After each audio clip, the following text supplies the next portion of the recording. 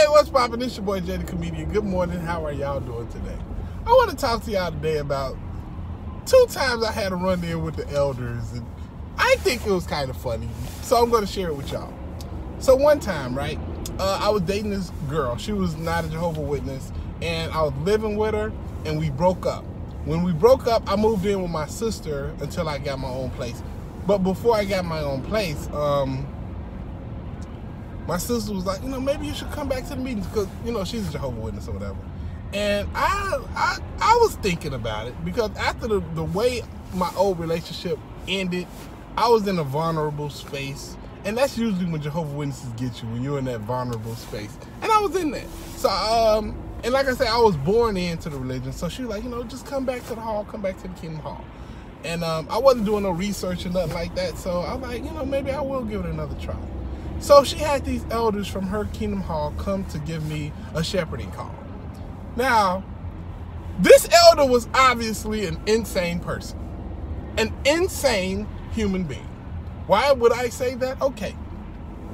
The year is 2009, 2008, 2009.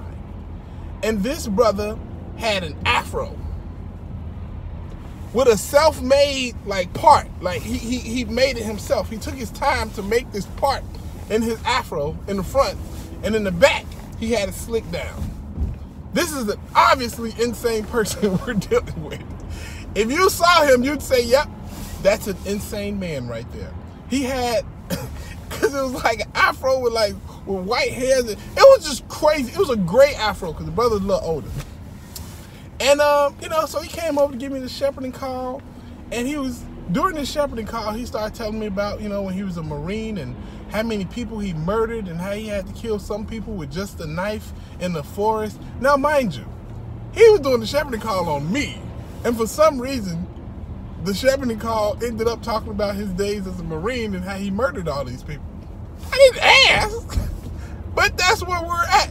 I'm like, oh wow, so you're a murderer. Okay, um, you did it for the country. I get that. Um, you don't believe in the army and stuff no more. I can see why. But uh, at the same time, you're an insane person. Why are you even telling me these stories?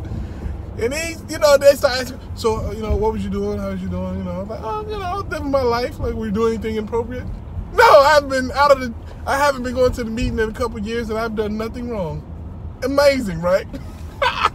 of course, I'm not to tell this idiot the day, first day I talked to him. He's like, well, okay, so this is what we should do. You know, just come back to the meeting. We'll have a judicial committee and, you know, you may get, need to get disfellowship or whatever, but it's just a part of getting clean and coming back to the organization. I said, oh, okay, yeah. Never went back. You idiot. Why would you even tell me I, was, I could possibly get disfellowship? And I, I should have known that going in, but why would you tell me that? When he told me that, I'm like, yeah, of course. No, not going back. Sorry. That was your last opportunity to get me back. That's when I really started doing research. And I didn't even move to my own place. I moved into the uh, to a place uh, with, with, with my current wife. Boom. And um and we we started our relationship. Now that's one story.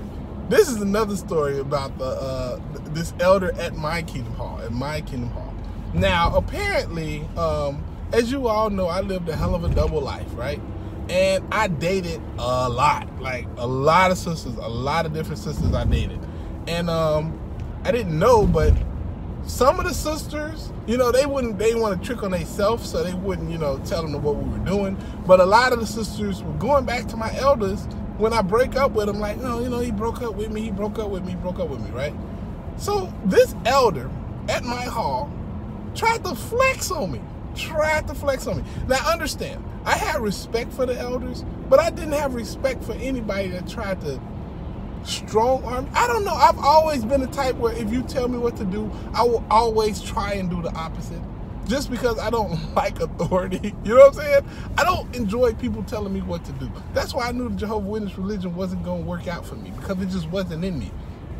And this brother told me, he said, look here, the next person you date, you better marry. He told me that face to face. And my response was, oh, no. you know? He was just like, uh, what do you mean no? I'm like, no. You got to show me in the scripture where it says I need to date, I need to marry the next person I date. or there's a certain number of people who I can and cannot date. Let me know that. Show me that scripture, brother. Because I know that ain't in there. And you're not gonna flex on me like, bro, you're literally like five years older than me. And I know I can beat you in a fight. So stop. Like I was already like having hella questions about being a Jehovah Witness, and I was already kind of like, uh, this is kind of dumb. What am I doing? You know what I'm saying? So for him to come and try to flex on me, huh, the next sister you date, you better marry. No, I brought several more sisters to the hall, and he was pissed off every time he looked at me. Mm-hmm. And I know, I know for a fact every sister that I dated before he said that and after he was in their ear saying little stuff to him. Hey, you need to watch out for that brother. Watch out for that brother. Like they was doing stuff like that behind my back and I didn't even know, you know? I wasn't doing no I wasn't doing people that bogus and dirty, you know what I'm saying? I didn't get dumped that much, but I mean, I wasn't doing nobody dirty. You know what I'm saying? I wasn't a dirty, horrible, bad guy, you know? Um, but yeah, I found out that the elders at my hall was going around telling people if they thought I was talking to somebody, like it was a couple people who I was genuinely just friends with, that they would go to their elders and tell them like, hey, you know, watch out for this brother, watch out for him, watch. I'm like, yo, I wish I would do that with the pedophiles. I wish I would have knew then what I know now.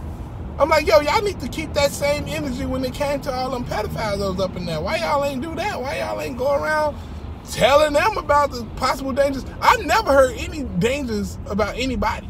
You know what I'm saying? Ever. Unless it was like some straight gossip and you don't know whether or not it was true or not, or somebody just disliked somebody. But yeah, man, like these elders was tripping. And that one elder in particular tried to flex on me. Brother. You, I can fight better than you. I know that. I know it. And you're not gonna go there. So your flex attempt isn't gonna work. You know how many judicial committees I've been in? I'm not scared of your judicial committee, bro. Especially when I know you don't have any evidence. And that's what I knew by then. Unless the judicial committee has evidence.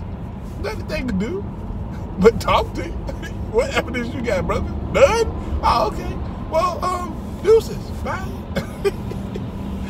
Anyway, man, yeah, that's just some craziness that happened in my life. I got so many stories, so many stories, and I'm gonna keep telling them to you. Anyway, it's your boy Jay the Comedian. I hope y'all have a great day. Holla at your guala deuces.